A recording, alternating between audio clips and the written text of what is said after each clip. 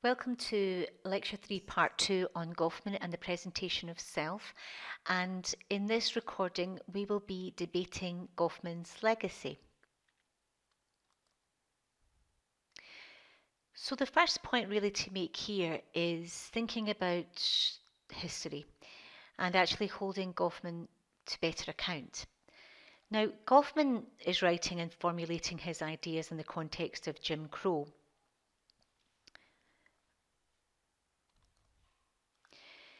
And as we know, Jim Crow laws were a collection of state and local statutes that legalized racial segregation in the states. They were named after a black minstrel show character. The laws, which existed for over for about 100 years, from post Civil War till around the, the end of 1968, were meant to marginalise African Americans by denying them the right to vote, hold jobs, get an education, and other opportunities. These laws of segregation in the US South were a way of life, and the black freedom struggles that were shaking the social interaction order at the time, they were shaking it to its foundations at the very moment he crafted his account. Now, there's some names that you will recognise, for example, Rosa Parks in 1955, who couldn't find a seat in the black section at the back of a bus, took one at the front of a bus. And the driver then instructed Parks to give up her space for white passengers, and when she refused, she was arrested. Um, Rosa Parks has largely come to be known as the mother of the modern day civil rights movement. In September the 3rd, 1957, nine black students, known as the Little Rock Nine, arrived at their high school to begin classes and were instead met by the National Guard and a screaming, threatening mob. They tried again a couple of weeks later and made it inside, but had to be moved for their safety when violence ensued. So, despite making some gains, black people in America were still experiencing blatant prejudice in their everyday lives. Um, I want to just look at the example of the Greensboro sit ins. So, in February 1960, four college students took a stand against segregation in Greensboro, North Carolina, when they refused to leave a Woolworths lunch counter without being served. And over the next several days, hundreds of people joined their cause in what became known as the Greensboro sit ins. Now, after some were arrested and charged with trespassing, protesters launched a boycott of all segregated lunch counters until the owners caved in, and the original four students were finally served at the Woolworths lunch counter where they'd first stood their ground. And I want us to think about what we could make of all of this when we're thinking about everyday life, right? These are, as Joyce Ladner and Imogen Tyler talk about, interactional forms of political res- resistance, and they're largely absent in Goffman's writing. Now, Goffman is writing at this time, so where are these accounts of the interaction order in everyday life? Can he really excuse or hide the place of power? Um, the context of social interactions to help us understand not only why the world is the way it is, but also how it could be. Now, one suggestion for the absence and the silence in Goffman's work on this particular interactional order in everyday life, as Joyce Ladner points out, is that US sociology has been historically segregated in that, at least until the 1960s, there were two distinct institutionally organized traditions of sociological thought in the States one black and one white. And for the most part, dominant written histories about the birth of American sociology and about American sociology generally have been silent on that segregation. So, at best, what happens is they reproduce it when addressing the US sociological tradition, they silence the contribution of key African American sociologists and African American experiences. So, even within the Academy of Sociology, the silences from Goffman have arguably contributed to reproducing inequalities. These are examples of violent interactions in everyday life.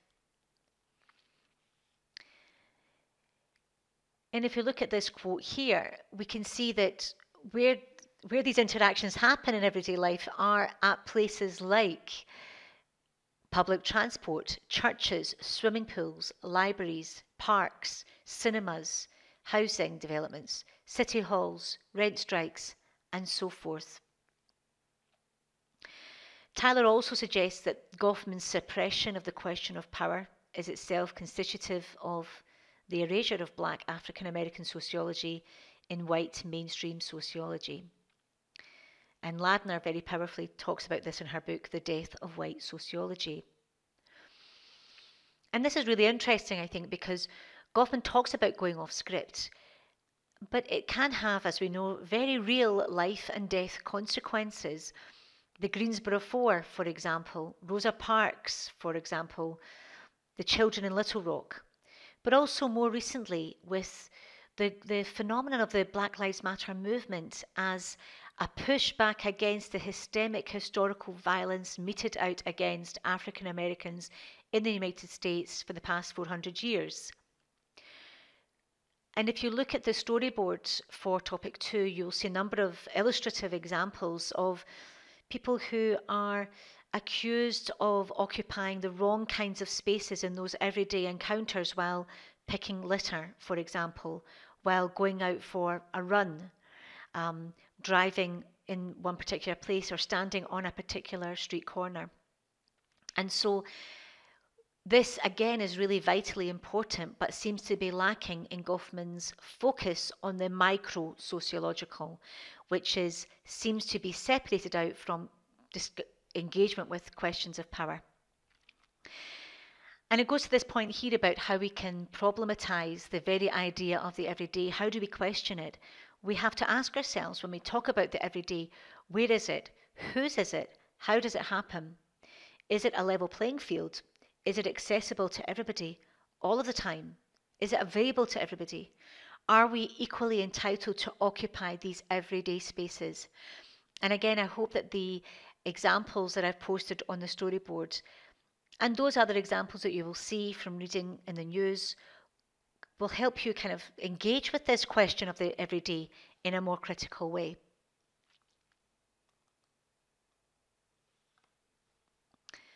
And Goffman's work has been criticised in a number of ways, in fact. Um, the first one we want to look at is this, this question that Giddens asks Are we ever sincere, right? Social actors may be viewed as performers who appear to present themselves to others in a false or manipulative fashion. The tactfulness displayed in social encounters, especially maintaining the status quo, requires diplomacy and adherence to social rules where we are thinking always about social self presentation goals. But are we simply manipulators? Goffman seems to presuppose that we are all cynical actors, and Giddens asks, Where is sincerity? Are we ever sincere? And this links to the next point about um, emotion management. And Goffman's actors merely carry out what Arlie Hochschild would call surface acting, but are psychologically absent in some way. The emphasis on performance suggests that there's no sense of an inner self in Goffman's observations of social interaction.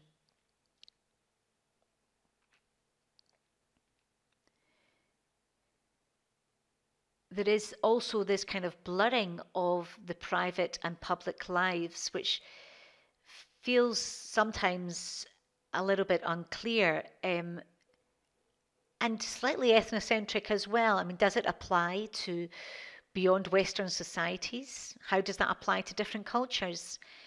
I mean, especially in the Western way of seeing the world, in the dichotomy of public private spheres, the dramaturgical analogy might work well for Western societies such as the US and the UK, but perhaps not so useful in societies where there is not such a marked division between the public and the private.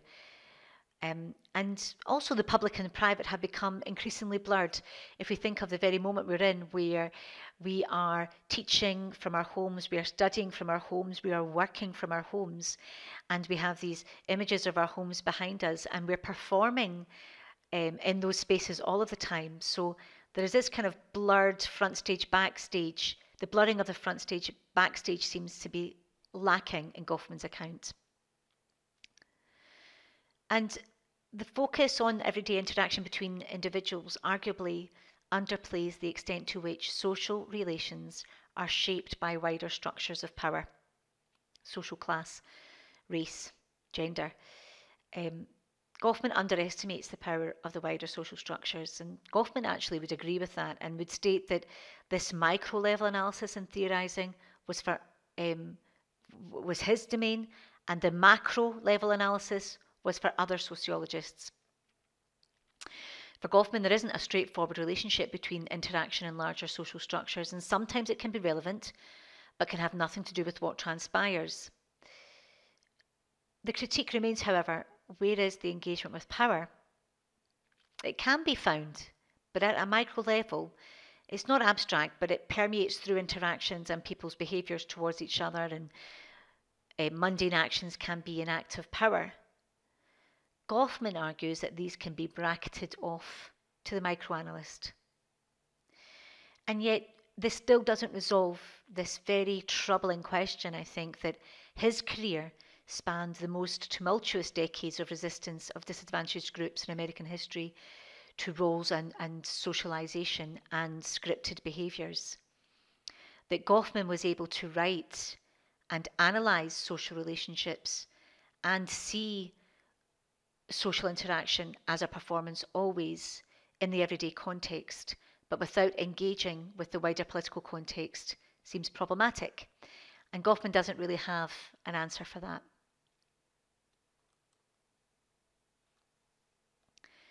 So, just to kind of recap here and and think through what has been discussed in this recording and the first part one.